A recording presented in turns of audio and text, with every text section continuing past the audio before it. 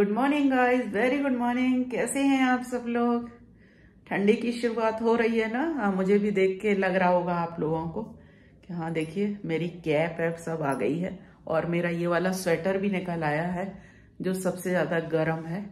इसी को मैं जब ज़्यादा ठंडी होती है तो मैं यही वाला पहनती हूँ। ज़्यादातर मॉर्निंग के टाइम में सुबह सुबह ठंडी होती है तो बस ये देखिए, इसमें मेरे काम भी हो जाते हैं, क्योंकि ये इतनी स्लीव्स इसकी इतनी है और ये फुल देखिए, कितनी इसकी लेंथ है और ये मैंने खुद ही बनाया था तो मैंने अपनी रिक्वायरमेंट के हिसाब से इसको बना लिया था। तो ये स्वेटर बहुत ही बढ़िया है। सबसे बढ़िया सर्दी की बचत इसी वाले स्वेटर में होती है मेरी, जब मुझे काम करना होता है, तब। तो किचन में काम करते समय मैं ये वाला स्वेटर पहन आपसे मेरी एक हम्बल रिक्वेस्ट है। मैं बहुत ज़्यादा आपसे रिक्वेस्ट कर रही हूँ कि मैं इतनी मेहनत करती हूँ, मैं इतनी मेहनत करती हूँ वीडियोस बनाने में और आप लोगों तक अपने वीडियोस पहुँचाने में। तो प्लीज़ मुझे आप लोगों के सपोर्ट की बहुत ज़्यादा ज़रूरत है, बहुत ज़्यादा ज़रूरत है। तो प्लीज़ प्लीज़ प्लीज़ मेरे वीडियोस को देखिए। लाइक करिए और ज़्यादा से ज़्यादा शेयर करिए। आप लोगों को पहले से मैं थैंक्स बोलना चाहूँगी। जो लोग भी मेरे वीडियोस को शेयर करेंगे, ज़्यादा से ज़्यादा लाइक करेंगे और प्लीज़ कमेंट्स करके ज़रूर बताइए कि आप लोग कहाँ कहाँ से मेरे वीडियोस को देखते हैं और आप लोगों को वीडियोस कैसे लगते हैं। आप लोग वीडियोस में और क्या क्या देखना चाहते हैं तो प्लीज़ ज़रूर बताइए और हम मिलते हैं फिर थोड़ी देर में। आज देखिए मैं गाजर, हरी मिर्ची और मूली का अचार बना रही हूँ और इसमें मैं अदरक भी डालूँगी। इन सारी चीज़ों को मैंने छील के, धो के, साफ़ करके, सुखा के और अच्छे से देखिए इस तरीके से कट कर लिया है इतने बड़े बड़े पीसेस में और हरी मिर्च को भी चीर के दो पीस में कर लिया है।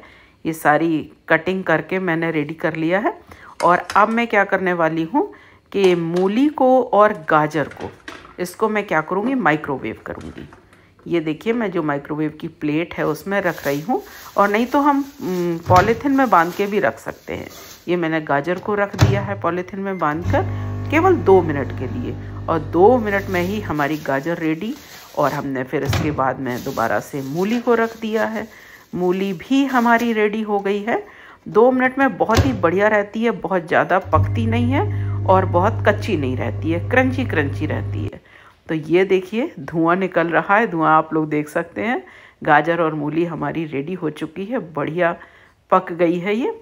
और इसमें अब हम मिला देंगे अदरक और उसके ऊपर से डाल देंगे हम इसी में हरी मिर्ची।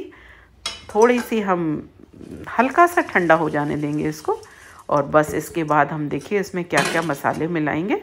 तो इसमें मसाले में मिलाने वाली हूँ ये मैंने मसलदानी उठा ली है और नमक डाल दिया है।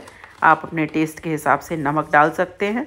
नमक कम नहीं रहना चाहिए। अचार में तो नमक अच्छा खासा होता है। फिर मैंने डाल दी है हल्दी और उसके बाद डाली है मैंने लाल मिर्ची पाउडर। क्योंकि जो हरी मिर्ची है वो तीखी वाली नहीं है।